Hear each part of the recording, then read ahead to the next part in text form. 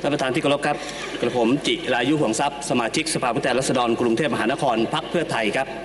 ท่านประธานครับผมเห็นด้วยกับร่างพระราชบัญญัติฉบับนี้นะครับ แต่ว่าจะขออนุญาตทำความเข้าใจกับท่านท่านประธานผ่านมายังท่านรัฐมนตรีครับว่า วันนี้การคมนาคมในกรุงเทพมหานครนะฮะยอดขายรถยนต์ปีที่แล้วท่านประธานครับ8 0 0 0 0คัน ปีนี้เขาประมาณการกันนะครับว่ายอดขายรถยนต์ในประเทศไทยเนี่ยผลิตประมาณ 2 ล้านคัน แล้วก็จำหน่ายในประเทศไทย 1 ล้านคันท่านประธานครับ ผมไม่อยากจะนึกเลยครับ ปี 55 เศรษฐกิจกำลังดีในรัฐบาลท่านยิ่งรักเนี่ยถนนหนทางมันจะเพียงพอหรือไม่ แน่นอนครับ เรื่องของระบบขนส่งมวลชนแบบรางเนี่ยนะครับ ในต่างประเทศเขาก็ทำกันมานานแล้ว แต่ประเทศไทยติดเงื่อนไขขั้นตอนมากมายหลากหลายครับ สายที่ท่านรัฐมนตรีได้กรุณาพูดถึงในร่างพระราชบัญญัติฉบับนี้นะครับ ถ้า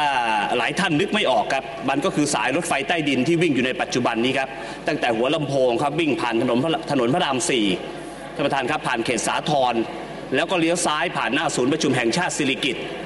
ผ่านไปยังแยกอสมทเข้าถนนรัชดาพิเศษเขตห้วยขวางครับต่อเนื่องไปยังเขตลาดพร้าวและจตุจักรแล้วเลี้ยวซ้ายเข้าถนนลาดพร้าวผ่านเซ็นทรัลลาดพร้าวเข้าไปที่จตุจักรต่อไปที่บางซื่อ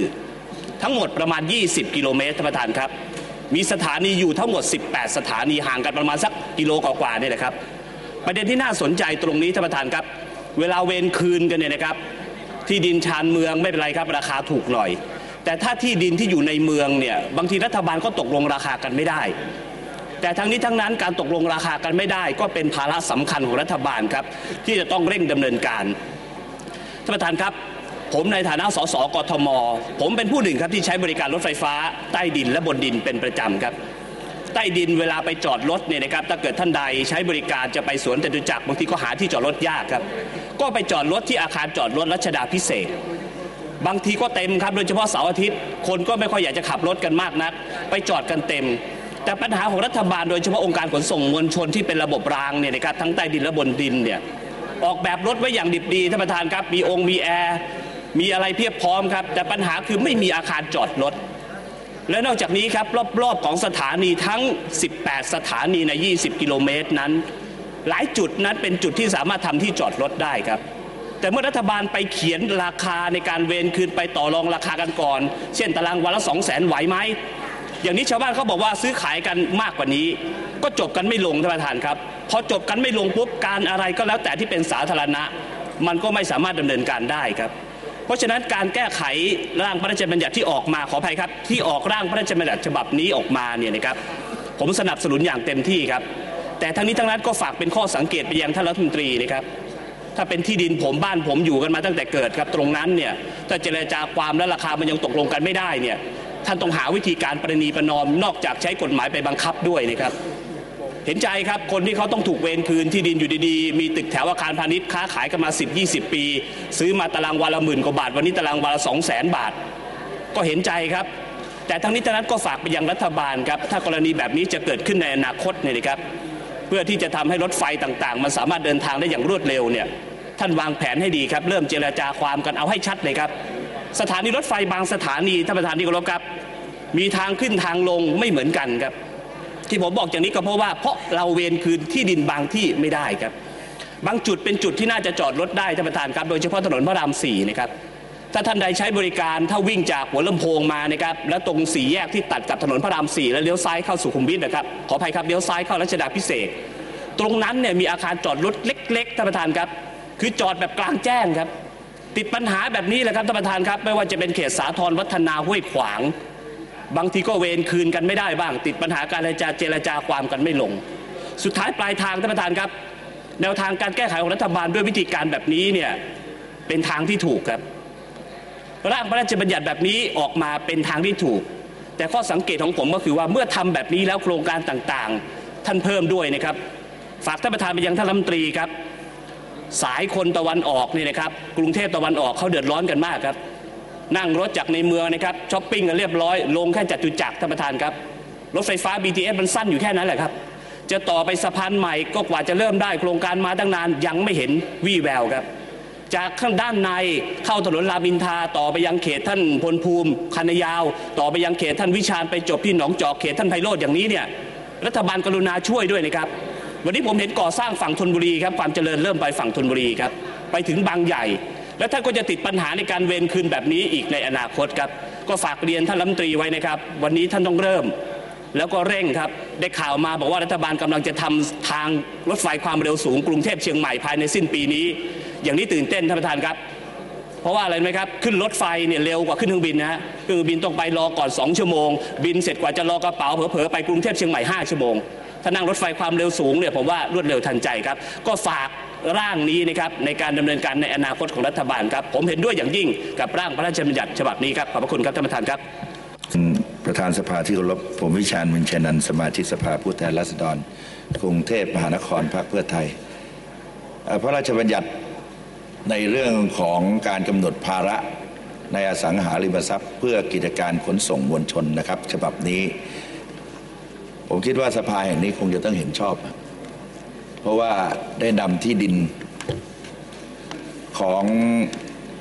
อผู้ที่ถูก จะใช้คำว่ารอนสิทธิ์ก็ได้ฮะเพราะกฎหมายฉบับนี้เนี่ยเหมือนกับเอาที่ดินเข้ามาใช้แล้ว แล้วก็ไม่ให้อนุญาตที่จะเอาอส่วนประกอบอื่นนั้นนะครับ ไปใช้ในเรื่องของธุรกิจด้านอื่น เพราะว่ารถไฟสายนี้เนี่ย สายมหานครรถไฟฟ้ามหานครสายเฉลิมรัชมงคลเนี่ยนะฮะมันถูกใช้แล้วเพื่อเพื่อการขนส่งมวลชน ดังนั้นเนี่ยนะครับ พระราชบัญญัติฉบับนี้เนี่ยเหลืออยู่เพียง 17 ลาย ซึ่งผมมองว่าในจำนวน 17 ลายนั้น คงจะต้องมีอะไรที่ผิดพลาด หรืออาจจะตกลงไม่เรียบร้อย จึงจำเป็นซึ่งจะต้องมาทำเป็นพระราชบัญญัติ แต่สิ่งหนึ่งเนี่ยกฎหมายฉบับนี้นะครับท่านประธานนะผมตั้งข้อสังเกตไว้นิดหนึ่งครับ คือเป็นกฎหมายคล้าย ๆกับเป็นกฎหมายพิเศษ ซึ่งบอกว่าเอาเงินไปวางและลงมือไปทำในส่วนของการนำนะครับ เงินเข้าไปวางในส่วนเพื่อเป็นการประกัน แล้วก็ไปเจรจาในลักษณะถ้าไม่ตกลง ก็ต้องมาใช้กฎหมายฉบับนี้ แต่สิ่งหนึ่งเนี่ย ถ้าเรามาดูแล้วนะครับ การใช้ที่ดินเนี่ยเหมือนกับว่าใช้ในบางส่วนเท่านั้นเอง ซึ่งผมถ้าคิดเทียบเคียงแล้วเนี่ยจำนวน 17 ลายเนี่ยเขาอาจจะมีมุมมองที่แปลกๆครับท่านประธานฮะบางทีเนี่ยเวียนคืนที่ 3 ตารางวาเงี้ยเวียนคืนที่ 2 ตารางวา เวียนคืนที่ 13 ตารางวา 5 ตารางวา 6 ตารางวา มีที่มากๆก็คือ 5 89 ตารางวานะครับ ซึ่งผมมองว่าในจำนวน 10 17ลายเนี่ยเขาอาจจะมีความรู้สึกว่าความเจริญมาถึงจำนวนของที่ดินที่เขาถือครองอยู่นั้น สามารถใช้ประโยชน์ได้มากกว่า หรือจะมองเรื่องกฎหมายในเรื่องของกฎหมายอาคาร เพราะถ้ามีการก่อสร้างใด ๆ ก็ตามนะฮะเขาจะต้องมีแนวแนวร่นระหว่างกันในเรื่องของที่ดินส่วนที่ดินที่มีการแบ่งแยก ดังนั้นเนี่ยในกรณีอย่างนี้เนี่ย ผมฝากครับว่ากฎหมายใดก็ตามที่ไปรอนสิทธิ์เขา แต่ต้องให้สิทธิ์ในด้านอื่น นอกจากการชดเชยแล้วเนี่ยในการก่อสร้างอาคารถ้าไม่สามารถที่จะมีแนวร่นที่มากจนบางแปลงเนี่ยทำให้ที่ดินของเขานะครับ อาจจะมีปัญหา เช่นมีที่ดิน 82 ตารางวาเนี่ยครับถูกเวียนคืนไป 3 ตารางวาดูแล้วมันก็น้อย แต่แนวร่นจากการก่อสร้างในส่วนของออบริเวณของการก่อสร้างรถไฟ นะฮะสายดังกล่าวเนี่ยก็จะทำให้แนวร่นของอที่ดินส่วนที่เหลือนั้นไม่สามารถที่จะดำเนินการได้หรือเปล่า อันนี้ตั้งเป็นข้อสังเกตนะครับ ส่วนในเรื่องของข้อเสนอแนะ ซึ่งผมคิดว่ากฎหมายฉบับนี้คงจะต้องมีการบังคับใช้นะครับ อันนี้ก็เป็นตัวอย่างอันหนึ่ง ซึ่งใช้ไปแล้วในส่วนหนึ่ง แล้วก็ยังจะต้องมีที่เราเพิ่มนะครับ ระบบขนส่งมวลชนมาอีกนะครับ อีกหลาย เป็นสิบสายเนี่ยสิบเส้นทางที่จะเกิดขึ้นในอนาคตเนี่ยเราเองคงจะต้องมีกฎหมายในลักษณะประเภทนี้ลงมา เพราะฉะนั้นผมฝากเป็นข้อสังเกตว่า ในเรื่องของอที่ดินนะครับ ถ้ามีลักษณะการเหลือที่น้อยนะครับ อย่าง 7-80 ตารางวา เราควรจะต้องไปกำหนดกฎเกณฑ์ครับว่าจะขอเอเวรคืนที่ยกแปลงมา เพื่อเป็นประโยชน์ในเรื่องของอ เรื่องของการดำเนินการในเรื่องของธุรกิจได้หรือเปล่า เพราะว่าถ้าเหลือไว้เขาน้อยเนี่ยเขาไม่สามารถทำธุรกิจ หรือมีแนวร่นแนวกันอย่างที่ผมบอกนะครับ อันนี้เป็นอย่างแรก อย่างที่สองก็คือในเรื่องของการกำหนดจุดขึ้นลงเพื่อความเหมาะสม ผมเข้าใจว่าการที่จะนำเอ่อระบบขนส่งมวลชน วิ่งพาดผ่านไปยังบริเวณย่านธุรกิจใด ๆ ก็ตามนี่นะครับ ก็ย่อมมีการ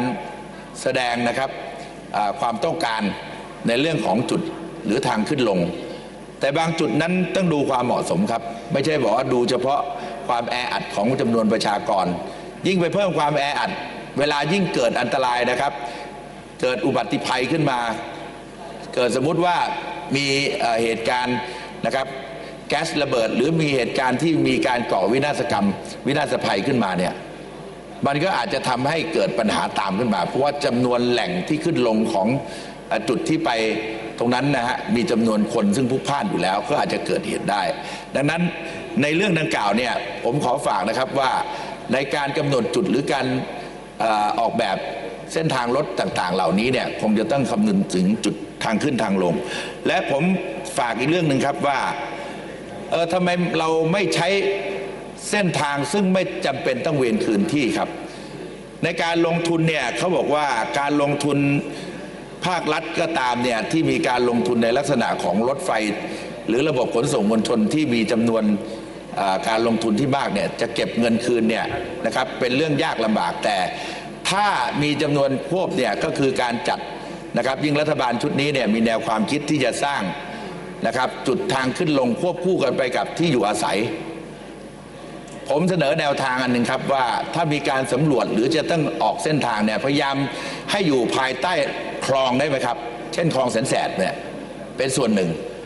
หรือคลองลาดพร้าวหรือคลองต่างๆ ที่มีขนาดใหญ่นะครับ เอาลงไปอยู่ใต้คลองเนี่ยมันไม่จำเป็นที่จะต้องไปเวียนคืนที่ครับเพราะเขตคลองต่างๆ ที่กว้างเนี่ยก็สามารถที่จะเอ่อดำเนินการในการพัฒนาได้ และเป็นการพัฒนาสังหาริมทรัพย์ บางทีที่ดินตาบอดนั้นมีจำนวน ราคาของที่นั้นราคาต่ำและสามารถพัฒนาไปสู่ย่านธุรกิจได้เพิ่มมากขึ้นในส่วนหนึ่งนะครับ แล้วก็รวมถึงเป็นการป้องกันนะครับ ตอนนี้มีปัญหาว่ามีคนบุกรุกที่ดินนะครับ ที่อยู่ในส่วนของอลำคลองหรือคลองสาธารณะต่างๆ ซึ่งเป็นปัญหาอย่างยิ่งครับ เพราะว่าถ้ามีการ ระบายน้ำใด ๆ ก็ตามนะฮะก็จะต้องไปรื้อบ้านที่บุกรุกลำคลอง แต่ถ้าเราดำเนินการนะครับสร้างเส้นทางรถนะครับรถขนส่งระบบขนส่งมวลชนเข้าไปใต้คลองเนี่ยเราก็สามารถที่จะควบคุมดูแลด้านบน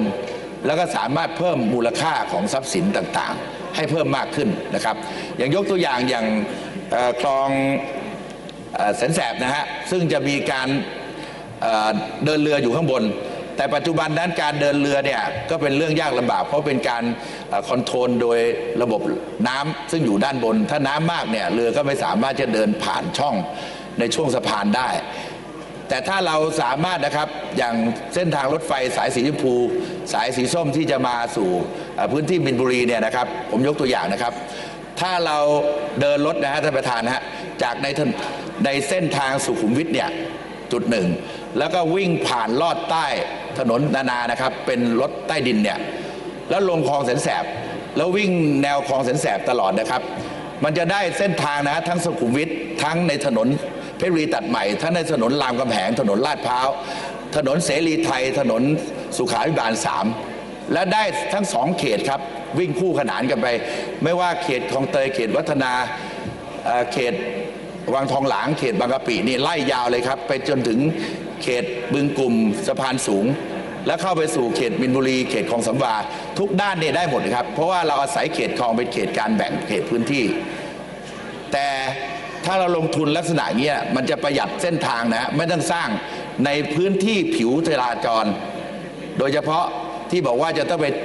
สร้างใต้ถนนลาดพร้าวถนนรามแหงนี่ไม่ต้อง เพราะอาศัยเขตคลองเป็นตัวกำหนดนะครับ ผมจึงขออนุญาตนะครับว่าฝากแนวทางสำหรับ การดำเนินการในเรื่องของการที่จะลงโครงการต่างๆ เพราะประโยชน์ต่างๆ ในการลงทุนนั้น ถ้าลงทุนมากต้นทุนก็จะสูง แต่ถ้าลงทุนน้อยนะครับ ประโยชน์ในการลงทุนกับพี่น้องประชาชนในการที่จะเรียกเก็บนะครับ ค่าโดยสารเนี่ยก็จะลดจำนวนลงครับ ผมเห็นด้วยกับร่างพระราชบัญญัติฉบับนี้ด้วยครับ ขอบคุณครับ ท่านวัชระเพชรทอง